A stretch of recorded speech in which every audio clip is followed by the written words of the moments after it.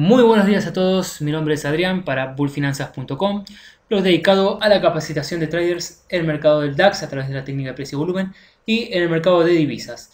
Eh, hoy viernes 3 de marzo estamos cerrando una buena semana de trading. Hoy un día complicado para operar, eh, no tuvimos operaciones perdedoras, pero sí complicado porque faltaba volatilidad, había algunos datos en la sesión americana que, que hicieron que que el precio esté prácticamente planchado con muy poca volatilidad, con lo cual eh, tuvimos dos operaciones, en mi caso, en sesión americana, las dos operaciones cerradas en break-even eh, y fin del trading. También tuvimos en la apertura europeo una muy buena chance de, operar, eh, que pudo tomarla uno de los alumnos y sacar un muy buen resultado. Antes de pasar a las operaciones de hoy, también, que, también vamos a repasar las operaciones de ayer que no alcancé a, a hacer el video, les recuerdo nuevamente que el lunes comienza la aula práctica eh, de marzo. ¿sí? Tienen tiempo hasta el lunes para inscribirse y cualquier consulta lo pueden hacer a bullfinanzas.gmail.com y también están disponibles los cursos de teoría de precio y volumen como el curso de teoría base donde se ve la teoría que después aplicamos en el aula práctica. Antes de pasar a las operaciones, les recuerdo que hicimos un, un acuerdo con Pepperstone en el cual abriendo cuenta desde este banner acá, hacen clic, pueden abrir una cuenta demo y luego abrir una cuenta real. ¿sí? Una vez que tienen la cuenta real activa, eh, tienen 10% de descuento en los cursos de Bull Finanzas. Bien, eh, así que lo único que tienen que hacer es abrir una cuenta demo y luego, cuando logren la consistencia en demo, pasar a real y eh, empiezan a tener el beneficio de el 10% de descuento. También les recuerdo que eh, si les gusta el canal, si les gustan los videos que estamos haciendo, difundirlo, eh, suscribirse, ¿sí? suscribirse en este sector acá, van a tener un botoncito rojo que deben apretar, se suscriben, le dan clic a la campanita para que les avise cuando tenemos un nuevo video y eh, van a colaborar con el canal para su difusor, su difusión.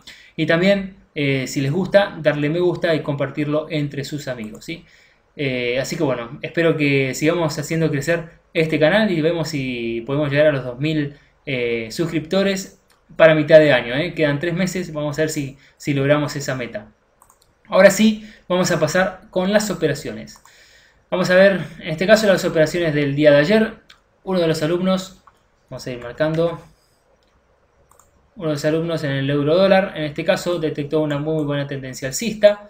Esto es apertura mm, europeo, divergencia, MACD ¿sí? tuvimos pauta de agotamiento, entrada cortos en zona de soporte y salida, eh, una vez que entró cortos, una vez que rompió la zona de soporte y salida en la zona de soportes anteriores. ¿sí? 6 puntos de ganancia, 5,9 eh, puntos de ganancia para él. Después tuvimos otra oportunidad más en el dólar franco suizo, en este caso sesión americana. También una tendencia alcista muy prolija, este es el mismo alumno, tendencia alcista muy prolija, pauta de agotamiento en esta zona, divergencia en MACD, entrada cortos una vez que rompe la zona de soporte y salida en zona de soporte anterior, más 9 puntos también para este alumno. Acá tenemos eh, otra operación más, en este caso similar, ¿sí? entrada cortos en la zona de soportes. ¿sí? Una vez que rompe, había divergencia. Entrar corto en zona de soporte. Stop loss a 4 puntos ¿sí? y un objetivo de 8,3. Con lo cual fue, tuvo un rendimiento de 200% eh, sobre el capital arriesgado. Una muy buena operación. Esta fue otra operación, en este caso mía. ¿sí? También en este caso euro dólar. Acá con una buena lectura de contexto en esta operación entramos varios, ¿sí? no solamente yo. Eh, tenemos pauta agotamiento, rechazo de número redondo, ¿sí? divergencia prácticamente y entradas, entrada en eh, quiebre de, esta zonita, esta zonita de resistencia. Cierro parcialmente con 3 puntos acá y el resto en 7, 7 y piquito en, en esta zona. Después el precio llegó a la zona de que teníamos objetivo principalmente, pero con esto ya había logrado el objetivo que tenía del día, así que al último pip que se lo lleve otro. Eh, en este caso fueron las operaciones de las divisas. Vamos a pegar un repaso de lo que pasó hoy en el DAX. un repaso del DAX. Hoy fíjense, abrió con un gap bajista eh, y se apoyó casi toda la sesión europea, en el inicio de sesión europea y la hora y media después que, operamos, en lo que es la zona de 12.000. ¿sí? Acá un lateral desde esta, este máximo de, la apertura logró eh, hacer techo muy firme y la zona de soporte de 12.000 también eh, lo aguantó bastante bien. Varias oportunidades intentó romperlas, pero no tuvo la fuerza de la oferta, con lo cual el precio lateralizó y no tuvimos chance para operar. Hay que tener en cuenta que hay que tratar de evitar los laterales porque son realmente eh, para sacarte plata. Eh, es donde más operaciones se hacen y por lo general hay mayor cantidad de, de errores en, en, las operaciones. Entonces hay que tratar de evitar y tratar de aprovechar el mercado con tendencia. ¿sí? Así que bueno, en lo que fue sesión europea, lateral infumable, eh, hasta que después logra romperlo, viene a cerrar el gap. ¿sí? Tenemos un pullback y después vuelve a, superar la zona, pero fíjense con un volumen, salvo en esta zona acá, un volumen muy pero muy tranquilo en toda la sesión. Hoy teníamos datos a las 12 del mediodía, de la Argentina, 2 y cuarto, y también hablaba Yellen a las 3 de la tarde, con lo cual el mercado de divisas también estuvo muy pero muy planchado.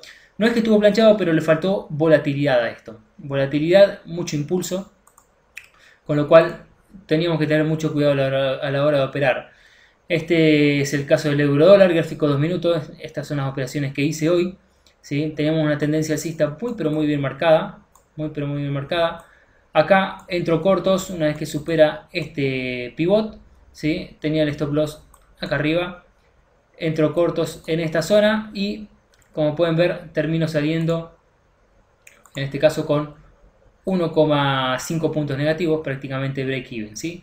Después una vez que rompe la zona otra vez acá ya con un poquito más de fuerza entro cortos en el pullback en el retroceso de esta zona acá ¿sí? Eh, moví el stop loss que lo tenía acá arriba también lo moví a la zona de stop loss de la zona de entrada principalmente porque faltaba muy poco para eh, la salida de noticias que teníamos en la sesión americana, con lo cual me quise cubrir porque cualquier volatilidad me podía llegar a sacar el, stop, con lo cual muevo el stop a cero, ¿sí?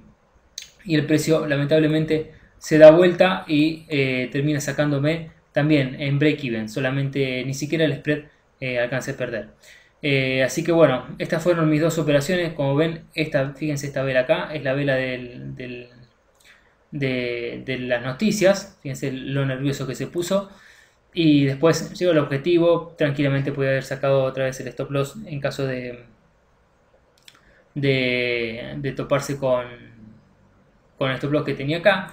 Con lo cual, eh, no estoy conforme, pero tampoco me, disgusta. ¿sí? Esto acá, esta las operaciones de hoy la hice con un cuarto de, la ganancia de la semana.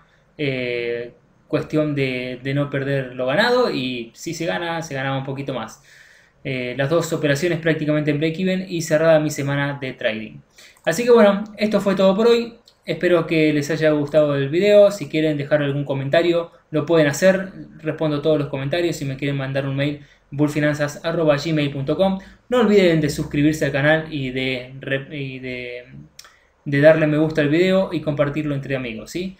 Eh, esto fue todo por hoy y nos vemos el lunes. Adiós.